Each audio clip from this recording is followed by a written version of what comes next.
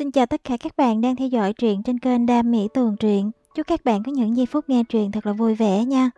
Xin mời tất cả các bạn nghe truyện Chức nghiệp thế thân của tác giả Thủy Thiên Thừa, giọng đọc lãm, tập 10. Yến Minh Tu ôm Chu Tường về phòng ngủ, ném hắn lên giường, cởi áo khoác và quần dài của hắn. Y bị Chu Tường đấm đá túi bụi, mặt mũi bầm tím, sắc mặt cũng cực kỳ khó coi, mồ hôi đầm đìa. Chu Tường bị trói cứng ngắc, không thấy nhúc nhích, chỉ có thể lạnh lùng nhìn Yến Minh Tu. Yến Minh Tu coi như không nhìn thấy, y lột sạch chu tường tới chỉ còn mở quần lót, sau đó nhét hắn vào chăn. Anh cứ ở yên đây hai ngày, đừng mơ đến chuyện ra ngoài, tôi sẽ trông coi anh.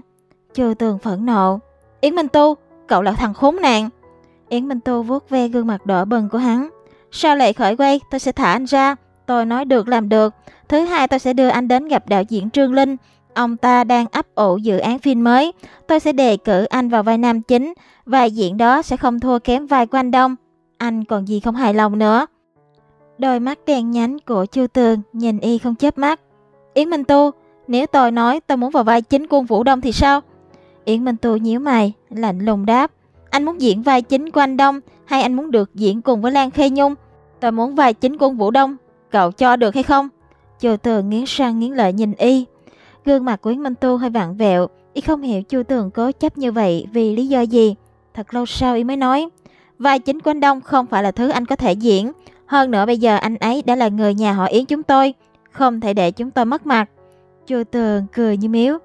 Cậu nói đúng, tôi làm sao mà xứng diễn vai của Vũ Đông. Tôi sẽ làm bẩn mất hình tượng của anh ta.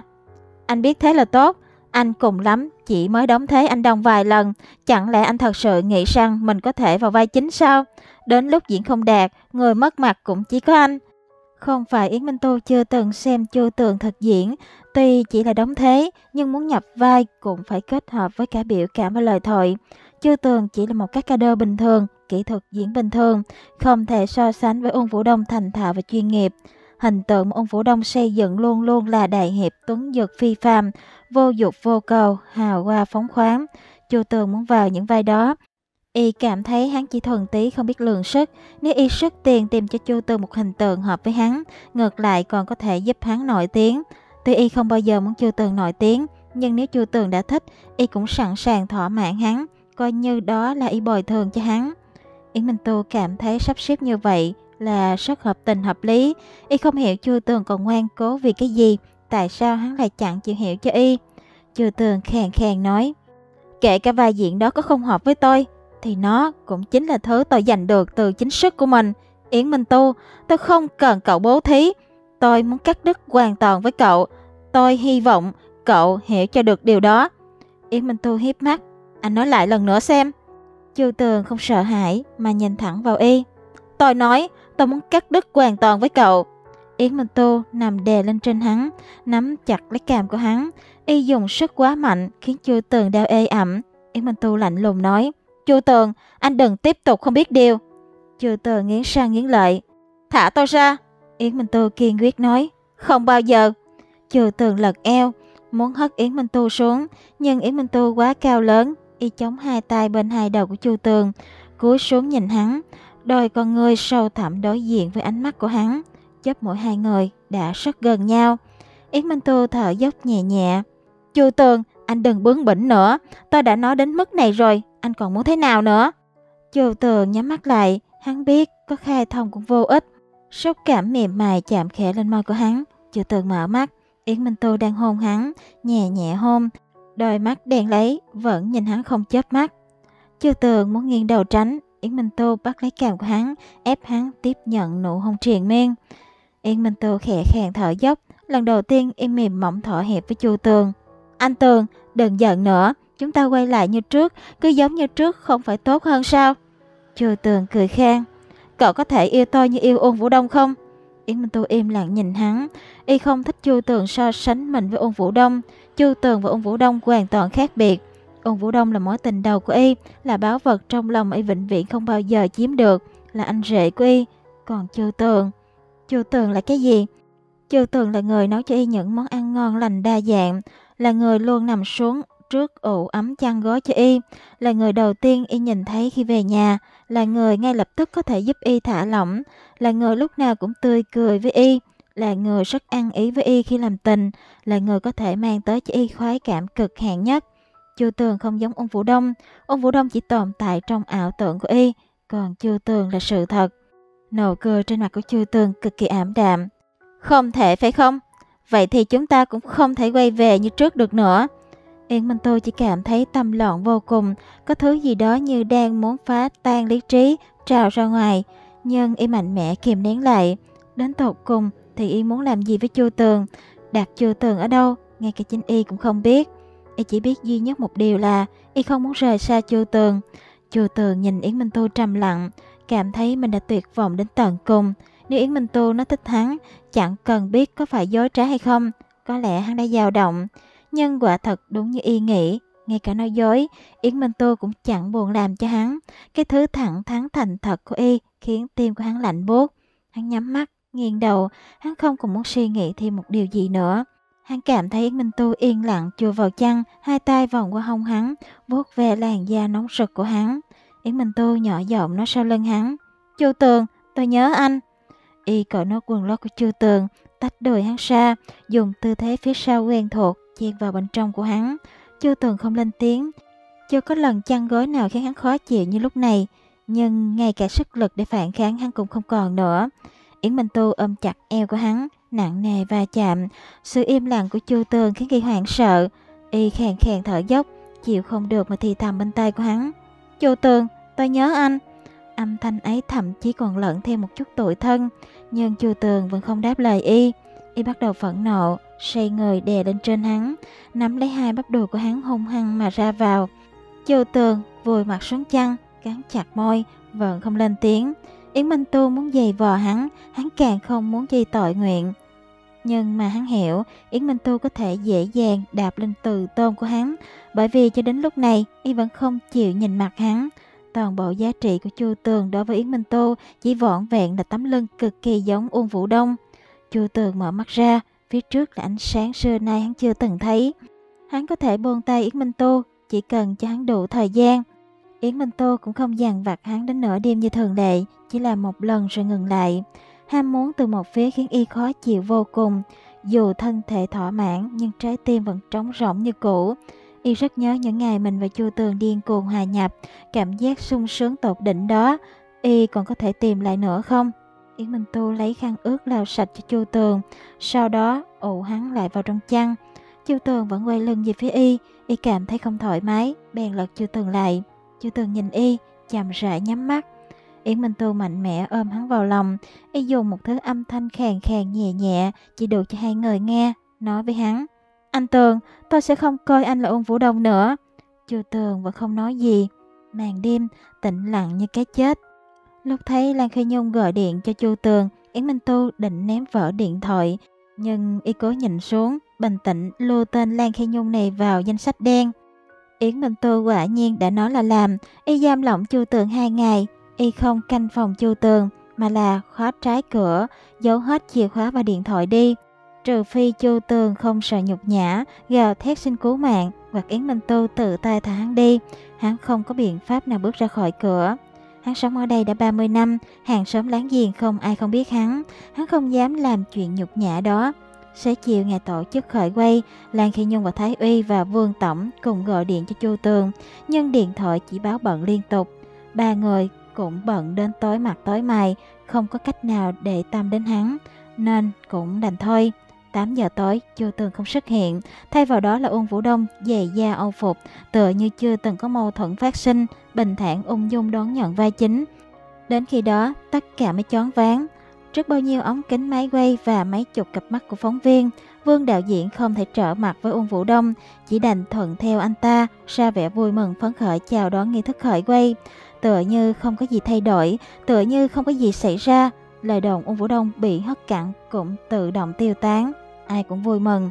Chỉ có Chu Tường nhìn thời gian chậm chậm chậm chậm trôi qua, giống như máu nóng trong thân thể cũng dần dần cạn kiệt, càng ngày càng lạnh lẽo.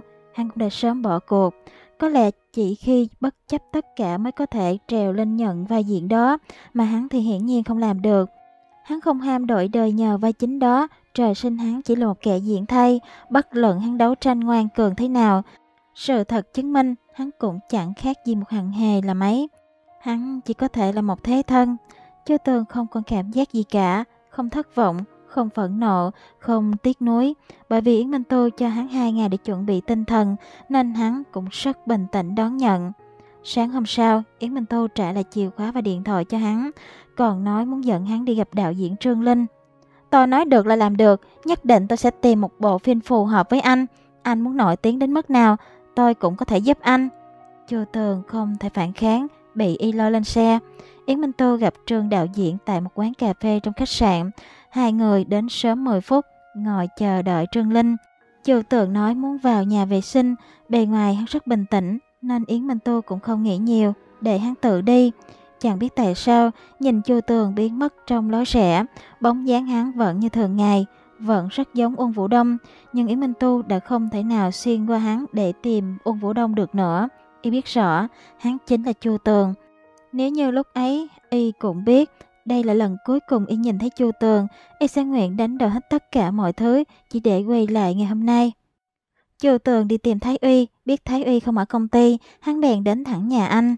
Vợ Thái Uy hôm nay hơi khó chịu, nên anh xin nghỉ ở nhà. Lúc Chu Tường tìm tới cửa, anh ngẩn cả người, rồi lập tức tóm lấy cầu áo của hắn, giận dữ quát. Còn mẹ nó, mày đi đâu mấy ngày nay hả? Nếu mày chưa chết thì giải thích tao nghe. Chu Tường mệt mỏi để Thái Uy vào nhà. Anh Uy, vào trong đi rồi nói. Thái Y cũng phát giác sắc mặt của Chu Tường tái xanh tái xám, tựa như mới trải qua kiếp nạn gì đó anh lại càng thêm lo lắng. Anh biết Chu Tường hơn 10 năm, Chu Tường cực kỳ có trách nhiệm, cực kỳ dự chữ tính. Nếu đã hẹn thì nhất định sẽ tới, nếu đã nói làm thì nhất định sẽ làm. Kể cả đổi ý vào phút chót, Chu Tường cũng sẽ không tắt máy và mất tích. Nhất định hắn sẽ thông báo cho bọn họ. Khả năng duy nhất chính là ngay cả Chu Tường cũng không kiểm soát được tình hình. Bởi vậy nên thấy y rất lo lắng, anh chỉ sợ Chu Tường gặp phải bất trắc gì. Đêm qua anh đã định đến nhà hắn, nhưng vợ anh lại đột nhiên khó ở, anh không làm cách nào được. Còn Lan Khi Nhung lúc này cũng đã chạy đến nhà Chu Tường. Lan Khi Nhung còn chưa báo về tin tức, Chu Tường đã xuất hiện trước mặt anh. Thấy y kéo hắn vào nhà, ném hắn lên sofa. Vợ anh từ buồn trong đi ra, lo lắng nhìn cả hai. Thấy Uy bảo vợ cứ vào trong nghỉ ngơi, anh thuận tay đóng cửa phòng ngủ lại. Xong xuôi mới ngồi xuống bên cạnh Chu Tường, nghiêm giọng hỏi. Cuối cùng thì chúng mày bị làm sao? Chu Tường lười bịa đặt lý do, chậm rãi đáp. Yến Minh Tu không cho em đi. Yến Minh Tu không cho chúng mày đi. Tại sao? Thấy y ngộ ra rất nhanh. Yến Minh Tu là em vợ của ông Vũ Đông. Chu Tường nhìn anh, xác nhận suy đoán trong lòng anh. Ông Vũ Đông gọi cho cậu ta, bảo cậu ta không được để em đi. Cậu ta, tóm lại em không đến được. Còn mẹ nó, ỷ thế hiếp người. Thái Y giận điên, thiếu điều hất bàn. Nó cấm mày đi cách nào? Chẳng lẽ nó trói mày lại? Chu Tường không đáp, chẳng khác nào thừa nhận. Thi phẫn nộ. Cái chó má gì vậy? Chúng mày tốt xấu gì cũng yêu nhau lâu như thế. Chẳng lẽ chút tình cảm đó nó cũng không có với mày? Đừng nói Ôn Vũ Đông còn chưa chính thức kết hôn với chị nó. Kể cả đã kết hôn rồi, nó cũng không thể ác độc như vậy chứ. Chu Tường thở dài. Anh Uy, giờ có nói gì cũng vô ích nữa. Chỗ vương đạo diễn với vương tổng, em chẳng biết phải giải thích thế nào nữa. Mà em cũng không dám gặp hai người đó. Mày đừng có gặp, vương đạo diễn đang phát rồ, vương tổng cũng thế. À Tường, anh đã bảo mày rồi, mày không đến thì từ nay về sau đừng hòng làm cái nghề này nữa, mày hiểu không? Thấy y cẩn thận quan sát sắc mặt của Chu Tường, chỉ sợ hắn không chịu nổi. Chu Tường hơn 20 tuổi tốt nghiệp, mới đầu chỉ là chân chạy vặt trong tổ làm phim, đại bộ phận hắn kiếm sống nhờ vào thể lực. Thu nhập cũng rất là thấp, dần dần mới có thể diễn mấy vai phụ xuất hiện một đôi lần, lăn lộn 3-4 năm mới bắt đầu đóng thế. Tuy cách ca đơ trong giới showbiz chỉ là nghề hạng quen, nhưng ít ra thu nhập so với thành phần trí thức bình thường vẫn tốt hơn nhiều. Chu Tường không phải lo cưới vợ sinh con, chỉ riêng kiếm tiền vào đủ để giúp hắn sống vô tư. Chưa kể vài năm nay tích lũy quan hệ, hắn cũng nhận được một ít công tác chỉ đạo võ thuật, tương lai chắc chắn sẽ tốt hơn nhiều. Nhưng những thứ đó đều là hắn dùng cố gắng bao nhiêu năm đổi lại. Nhưng bây giờ, chỉ vì một chuyện, tất cả đã tan nát. Chu Tường không chỉ làm mất lòng ôn Vũ Đông, mà còn làm mất lòng Vương đạo diễn, hơn nữa còn khiến cho Vương Tổng giận đến điên. Hắn chỉ là phận tôm tép, sau này tiếp tục đứng trong nghề kiểu gì, khỏi cần nói cũng biết. Chu Tường cười khổ. Anh Uy, sao em lại không hiểu? Nhưng em làm gì còn cách nào? Thấy Uy thở dài, bụng già cũng chán nản. Từ khi còn đi học, Chu Tường đã là đứa em thân thiết nhất của anh. Anh thật lòng không muốn thấy Chu Tường mất đi công việc. Chu Tường cúi đầu thấp giọng nói. Anh Uy, em biết sau này không thể làm cách ca đơ được nữa. Em muốn hỏi anh, còn giúp được em kiếm việc khác hay không? Em định tích góp một ít tiền, đủ vốn thì mở cửa hàng gì cũng được. Thầy thở dài, đừng vội, cứ nghỉ ngơi vài ngày đã. Chu Tường có vẻ quẩn bách. Anh Uy, em không thể không vội. Bây giờ, bây giờ Yến Minh Tu vẫn đang ở nhà em, em chẳng biết phải làm sao nữa.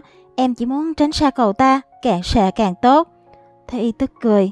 Yến Minh Tu, ăn vả nhà chú mày không chịu đi, đã không biết nhục, còn muốn làm cái gì? Em không biết, em muốn tránh cậu ta, chắc ít lâu sau cậu ta sẽ bỏ đi thôi, nhưng hiện giờ có gì kiếm sống được thì em sẽ làm luôn, em không muốn nhàn rỗi. Nhàn rỗi sẽ làm hắn miên man suy nghĩ rất nhiều, hắn đã qua cái tuổi thần tiên mơ mộng. Lúc này điều quan trọng nhất không phải tình yêu cay đắng, mà là tìm kế sinh nhai.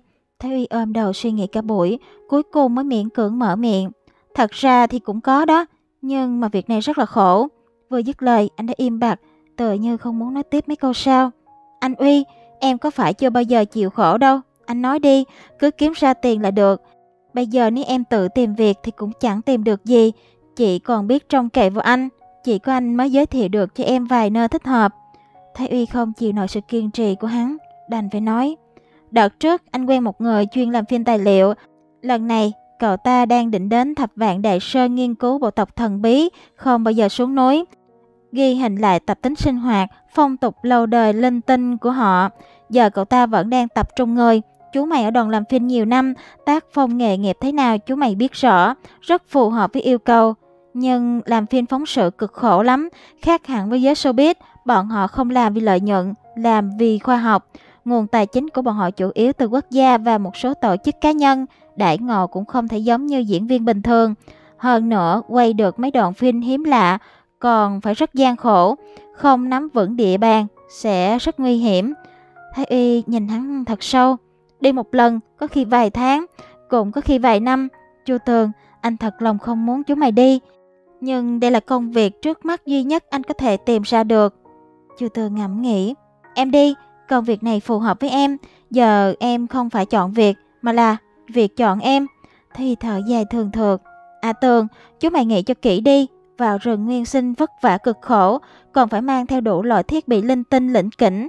Anh khuyên chú mày nên chờ thêm mấy ngày, để anh đi hỏi xung quanh một chút đã, tạm thời chú mày cứ ở nhà anh là được. Thái Uy nói xong cũng rất hối hận, anh không muốn chưa tường đi, thì có nhiều người đi cùng, nhưng phương diện an toàn chắc chắn không thành vấn đề. Nhưng vào cái nơi rừng sâu núi thẳm như thế, chẳng biết sẽ có chuyện gì xảy ra. Chưa tường cái đời sống ở thành phố, làm sao mà chịu nổi. Anh đã rất hối hận vì mình đã nhanh miệng. Chưa tường lắc lắc đầu. Anh Uy, thế là tốt lắm rồi. Thật đó, cứ để em đi đi. Tổ làm phim tài liệu không liên quan đến giới giải trí. Cũng sẽ không vì chuyện của ông Vũ Đông mà bài xích em. Nó không chừng về sau tích đủ kinh nghiệm, em có thể chuyển sang nghề này luôn. Anh Uy, yên tâm đi, em tự có thể chăm sóc tốt cho mình. Thói y chần chừ nửa ngày, không chịu nổi. Chu Tường kiên quyết, đành phải gọi điện thoại cho người phụ trách đoàn làm phim, giới thiệu sơ qua về Chu Tường. Thái Uy cũng có tiếng tâm trong nghề, những người anh giới thiệu đều rất uy tín. Bên kia vui vẻ nhận lời ngay. Hẹn Chu Tường hôm sau đến gặp mặt rồi bắt đầu xuất phát. Ngoại trừ hai bộ quần áo thì không cần mang thêm gì. Đồ đạc leo nối bọn họ chuẩn bị hết rồi, quần áo bình thường thật ra cũng không dùng được. Đoàn làm phim hình như đang rất vội vã. Thái Y không ngờ bọn họ gấp rút như thế, Chu Tường cũng trở tay không kịp. Thuy lại hỏi hắn thêm lần nữa, có định đi thật hay không? Chu Tường nghĩ tới hoàn cảnh mình hiện giờ, lại nhớ đến thái độ của Yến Minh Tu, hắn gật đầu. Chu Tường tới gặp người phụ trách, sau đó ngồi máy bay đến thẳng Quảng Tây. Điện thoại của hắn vẫn tắt máy, hắn biết Yến Minh Tu và Lan Khê Nhung đang tìm hắn, nhưng lúc này hắn không muốn nghe bất cứ người nào, hắn chỉ muốn vùi đầu vào công việc. Có lẽ một năm rưỡi sau khi hắn trở về, tất cả đã yên ổn lại. Đến lúc đó hắn sẽ lại một lần nữa trù tính cho cuộc đời của mình. Người duy nhất hắn liên hệ chính là Thái Uy. Thật ra Thái Uy gọi cho người phụ trách, đòi gặp hắn bằng được. Thái biết lý do hắn không bật máy, nhưng Thái Y cũng khổ. Yến Minh Tu và Lan Khê Nhung đồng thời cũng khủng bố điện thoại của anh. Tuy hai người đó không biết gì cả, nhưng vẫn linh cảm Thái Uy nắm được thông tin về Chu Tường. Chu Tường đang phải đương đầu với khó khăn lớn nhất trong đời người, Thái Uy tuy là rất cực, nhưng cũng không nói lại với hắn chuyện gì, chỉ dặn hắn phải tự chăm sóc cho bản thân thật tốt.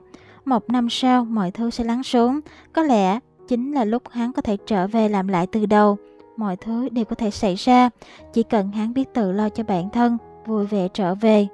Lúc trao đổi điện thoại, cũng đã nói đường núi rất hiểm trở, nhưng khi ấy chưa tường tuyệt đối không nghĩ tới, chờ đợi hắn phía trước chính là vận mệnh quỷ quái thế nào. Mới bắt đầu tất cả vẫn rất thuận lợi, bọn họ tiến hành theo thông lệ, được dân địa phương dẫn đường tới lưng chừng núi Thập Vạn Đại Sơn.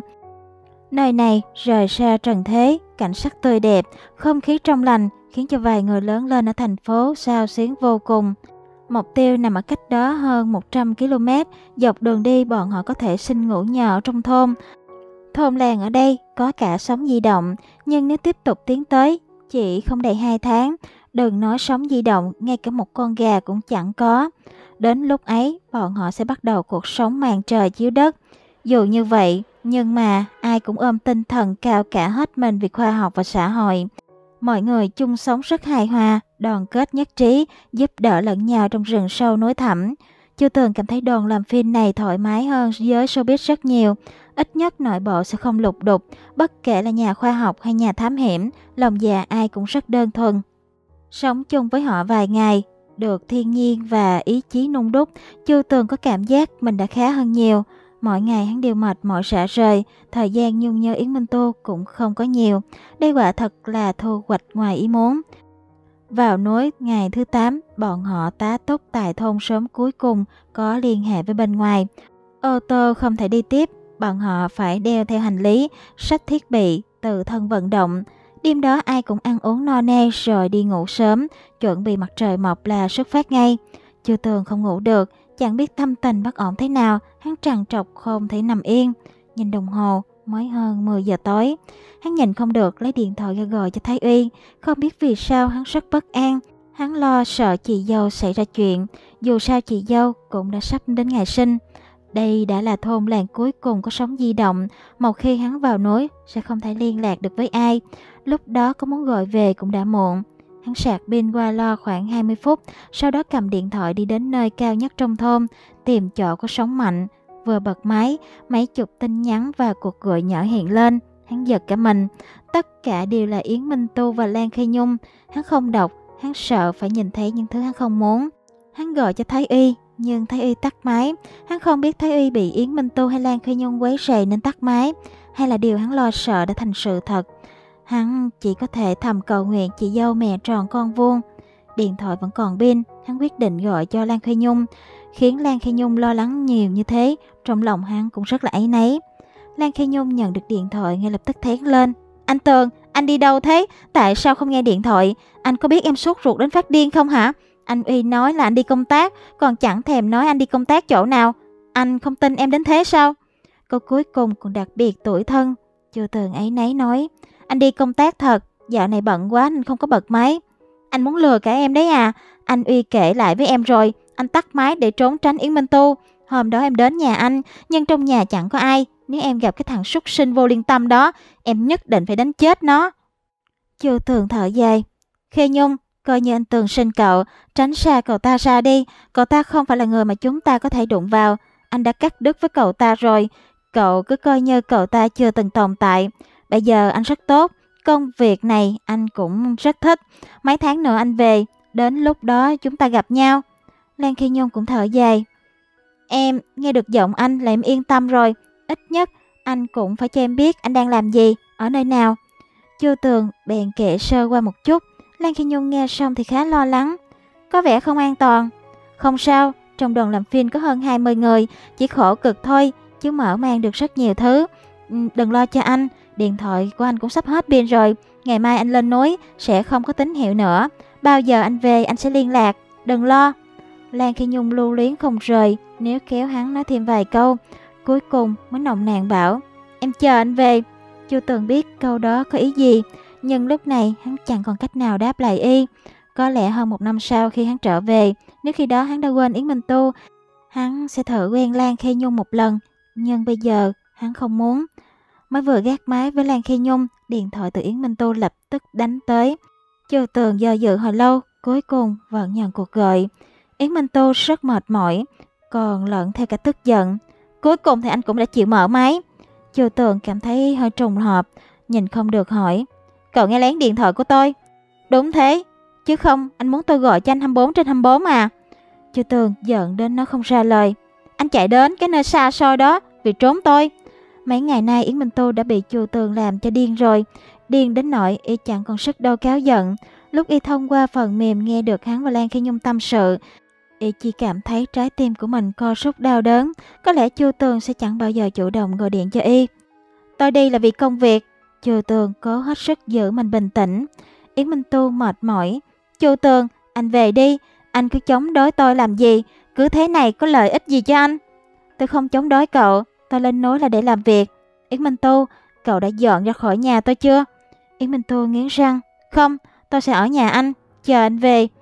Chu Tường thấp giọng hỏi. Tại sao cậu không chịu buông tha cho tôi? Yến Minh Tu trầm ngâm. Thật lâu sau mới đáp. Tôi muốn bắt đầu lại một lần nữa với anh. Tôi thích cảm giác được ở bên cạnh anh. Lý do này đã đủ chưa? Đại lòng của Chu Tường đã bắt đầu rối loạn. Nếu cậu nói những cái lời này trước khi ôm tôi gọi Ung Vũ Đông, tôi sẽ đồng ý hết tất cả. Chu Tường, anh đừng có quá trớn, anh còn muốn tôi thế nào nữa chứ?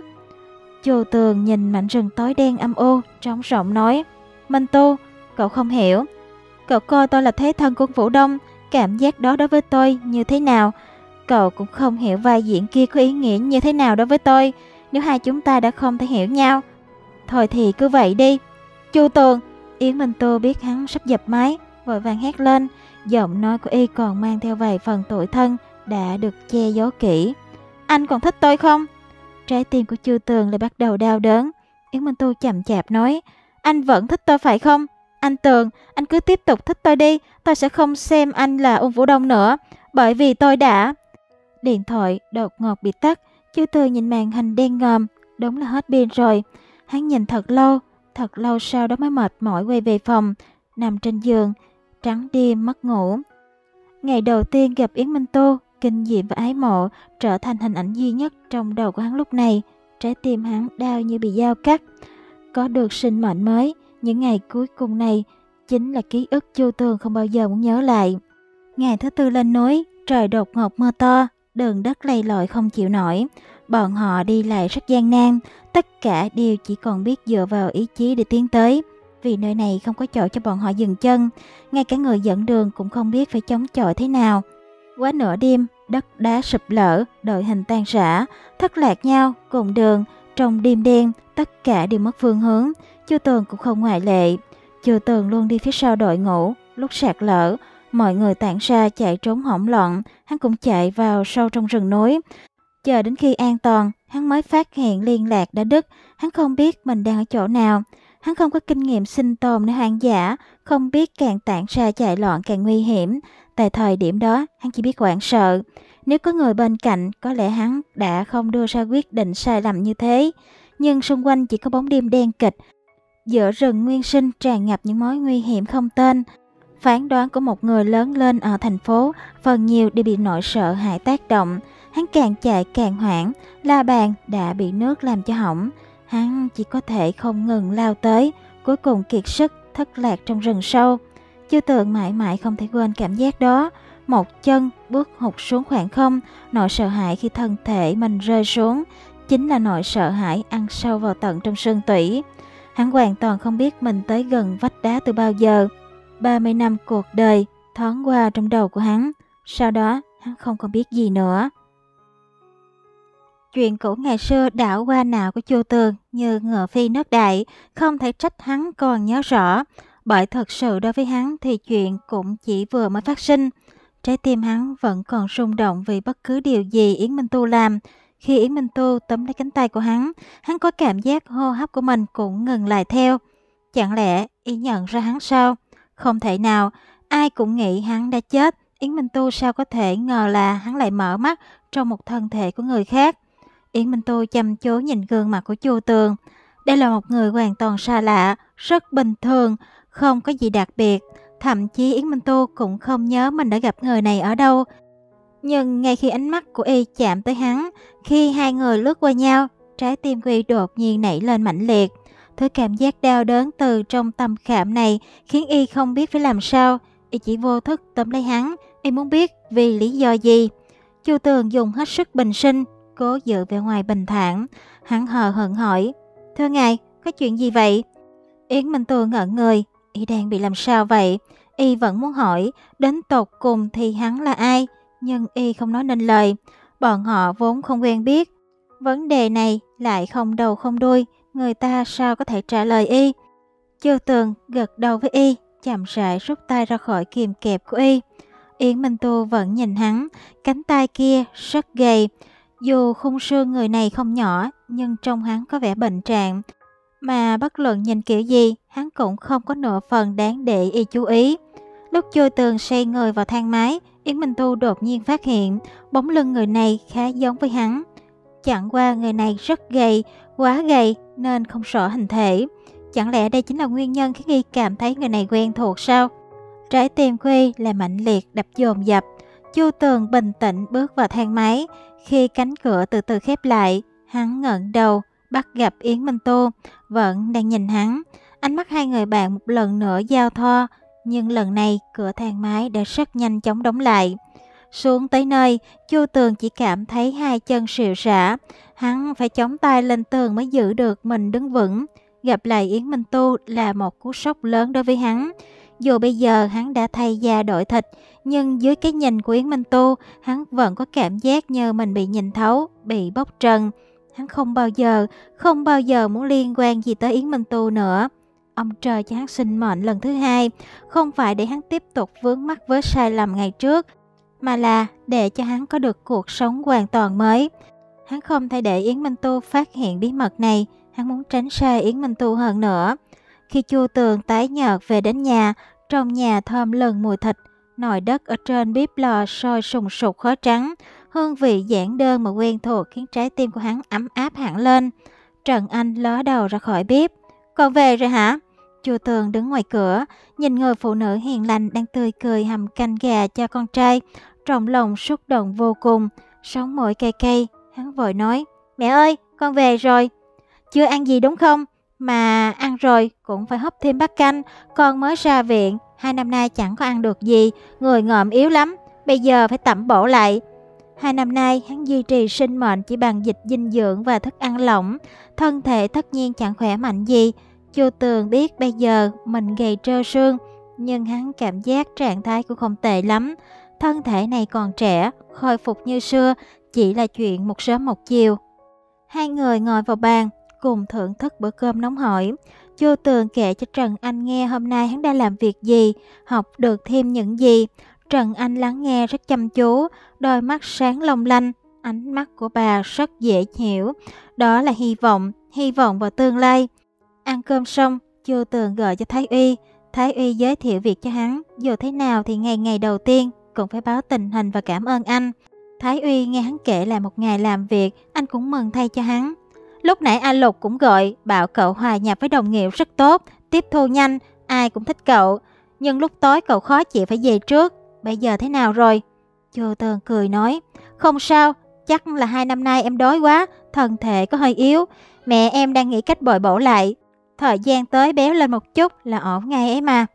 Đúng đó, cậu quá gầy rồi, mà công việc thì đừng có lo. Khó chịu thì cứ về nhà nghỉ ngơi trước, anh không có trừ lương đâu. Hoàn cảnh của cậu không có giống người khác, phải đặc biệt chú ý vào. Trừ tường cảm kích nói, anh Uy, cảm ơn anh rất nhiều. Dù là trong kiếp trước hay ở kiếp này, Thái Uy vẫn luôn là quý nhân của hắn.